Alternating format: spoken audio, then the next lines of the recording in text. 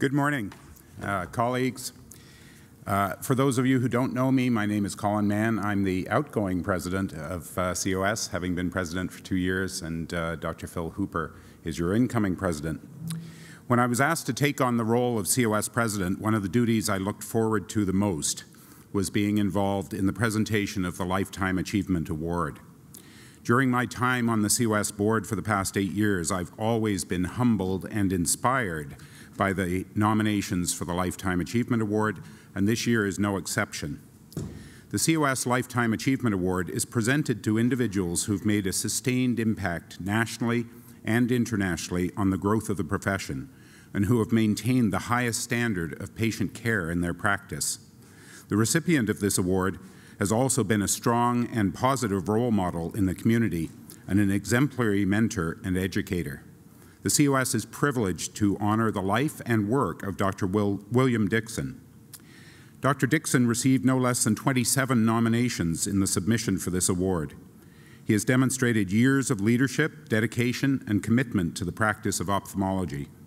He's a mentor and a role model for two generations of ophthalmologists, and as, you, as was described in the nominations, as a gifted surgeon and a natural-born teacher. As you will hear, Dr. Dixon was not able to join us in person, but I'm told that he is looking in by Zoom today. So uh, welcome, Dr. Dixon. I would now invite Dr. Dixon's colleague, Dr. Hall Chew, to tell us more about Dr. Dixon and his distinguished career. Dr. Chew? Uh, thank, thank you, Dr. Mann, and thank you to the COS. Um, good morning. It is my honor to introduce Dr. William Dixon, the winner of this year's COS Lifetime Achievement Award. Dr. Dixon completed his internship in 1965 and made the most important decision of his life when he married his fiancée, Sylvia. Bill and Sylvia moved to Calgary, where he worked as a general practitioner. However, he was more interested in the surgery and positive outcomes associated with ophthalmology. After a year of practice as a GP, he was accepted into the Toronto Ophthalmology Residency Program by Dr. Clement McCulloch, himself an inaugural winner of the same award. In 1970, upon graduating from residency, he was awarded the Lister Research Fellowship, completing his cornea and external, disease fellowship at Moorfields in London, England. You can see Bill pictured here amongst many of his cohorts here, who are some of them in the room here with us.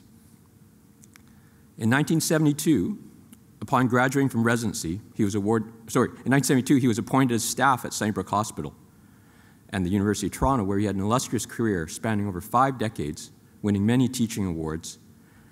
Dr. Dixon was the ophthalmologist in chief from 1987 to 2010.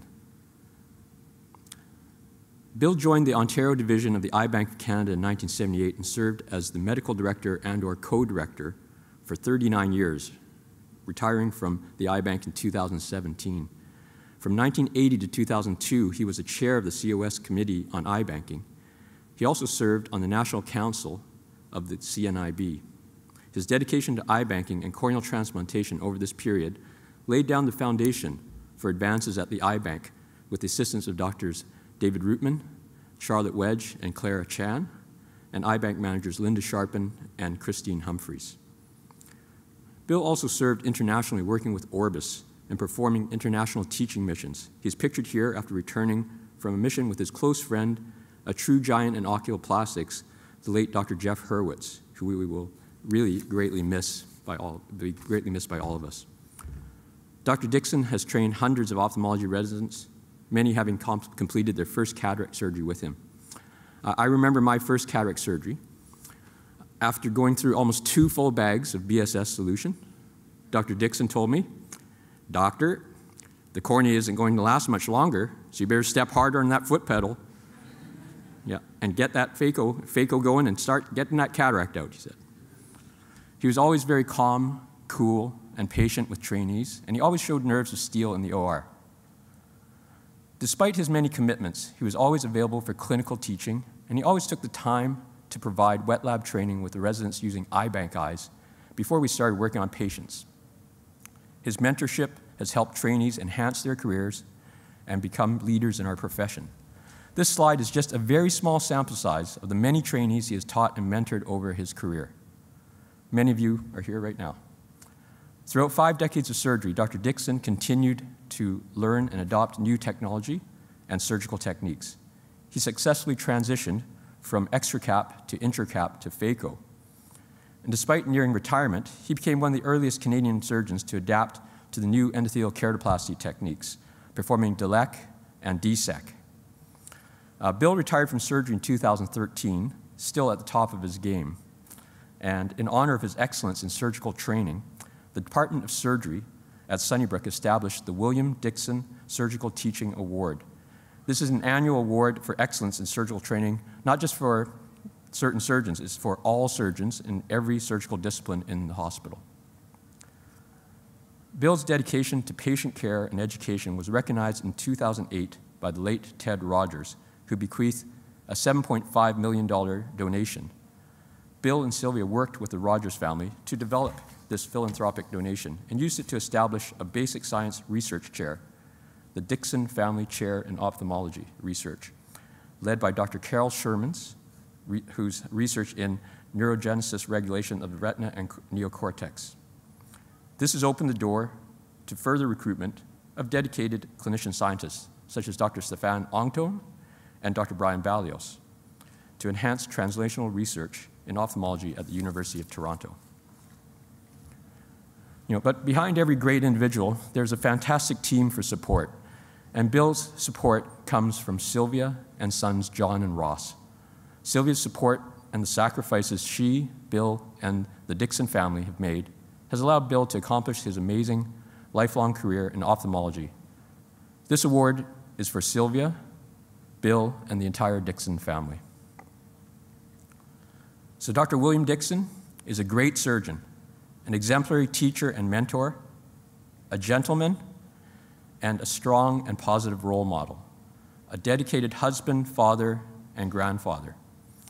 He has maintained the highest standard of patient care, and he has made a sustained impact on the growth of the profession, leaving a legacy of teaching, eye banking, and research.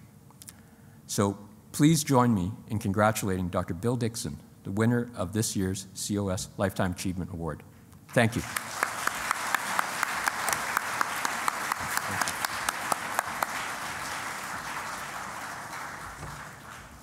Thank you so much, Dr. Chew. I'd now ask for Dr. Dixon's recorded acceptance speech to be played, please.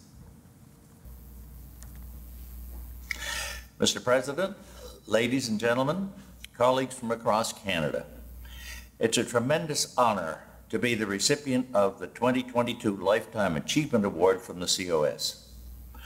Unfortunately, COVID-19 and my health status with stage 4 mantle cell lymphoma prevent my being in Halifax in person to join you, and I apologize for having to substitute this video. I want to thank Dr. Hall Chew and Brian Ballios for suggesting my name and to thank other colleagues across Canada who wrote letters of support. I thank each of them. My 50-year career in corneal cataract ophthalmology at an academic center has been very rewarding for me. Being part of Sunnybrook's Department of Ophthalmology and Vision Sciences with my outstanding colleagues who are also my caring friends is especially treasured. Sylvia and I feel your ongoing support. The residents and medical students have been a wonderful part of my career also. Their inquisitive minds, probing questions, and their individual talents kept me constantly challenged, both in clinics and in the operating room. However, my reddy brown hair changed to white earlier than I expected, so it wasn't always a glory story. Hospital politics also played a role in the color change. Eye banking, of course, has been a very big part of my life, as medical director and co-medical director from 1978 to 2017, 39 years. In accepting this Lifetime Achievement Award, I want to provide a little historical perspective about Canadian eye banking. We owe a great debt to those who guided its founding principles. One being that transplantation tissue would always be provided free for patients, and the second being that we took all donations offered and the eye bank would sort out the ones suitable for transplantation The remainder, remainder were used for research and teaching. It was in 1955 that the COS, the CNIB, and the University of Toronto established the Eye Bank of Canada at U of T. Without the financial and administrative support of the CNIB, it might never have succeeded.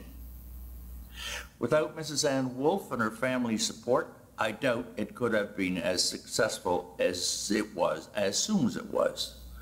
Today, tissue and organ donation is almost an accepted concept. Not so, however, in 1955. But as a young, intrepid spirit with a wonderful smile and organizational skills and a deep commitment to human body parts donation, Anne took on the medical establishment and the general public. She was considered a ghoul and disrespectful for the dead, but gradually she turned these attitudes around. She also gave herself totally, 24-7, to receive eyes for many years with her mother and family members sitting by her home phone waiting for a call while Anne walked her baby or did errands, and before there was any such a thing as a pager. It was an unbelievable commitment. eye banking could not have succeeded without committed volunteers, most of whom were organized by Ann Wolfe. There were family doctors in many parts of the province who removed eyes day or night. Lions clubs who organized their members for driver relays to bring these eyes to a point near Toronto where Ann met them. Bus lines, planes, and trucking companies brought Ann her eyes early Canadian eye banking is truly an inspirational story. Anne was awarded the Order of Canada in 1995 for her exceptional work. My work with Anne at conventions, on radio and TV, all to promote eye donation was wonderful. She was fun, and her medical humor was contagious. Her phone calls around my allocated eyes were amusing sometimes, such as, Quote, these eyes are absolutely gorgeous. He died shoveling snow yesterday afternoon. My wet labs in Sunnybrook, SOWARs, preceded surgical simulators and Kensington, starting in the late 1980s with support and permission from the hospital executive. Instruments donated a complete set of cataract and corneal instruments, we had started by removing seeds from green peppers, then moved on to eye bank eyes, which were not suitable for transplantation. We were able to do complete operations, initially intracap, then extracap, then phaco. Orientation to the surgical microscope and surgical and suturing practice are vital before resident surgery on patients. I felt that a pair of eyes donated for research and training saved as much sight or more than a pair of transplantable corneas. Lastly, but first really, I want to thank my wife and our sons, Ross and John, who shared their time and gave up our time together for my corneal surgical practice in the 1970s, 80s, and early 90s before there was sufficient tissue to be offered for elective bookings. I had to do transplants at literally any hour of the day or night when the operating room became available. Sylvia also worked with me in the office for 30 years. Again, I want to thank the COS for the Lifetime Achievement Award. I also want to thank Dr. Colin Mann, who made a special trip to Sunnybrook Health Sciences Center en route to his vacation to present the award to me personally.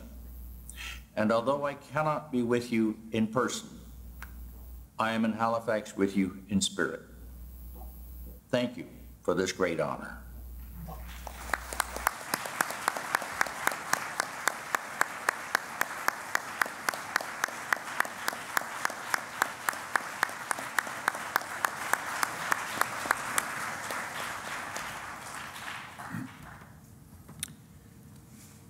As Dr. Dixon mentioned, I had the opportunity to present the Lifetime Achievement Award to him in Toronto.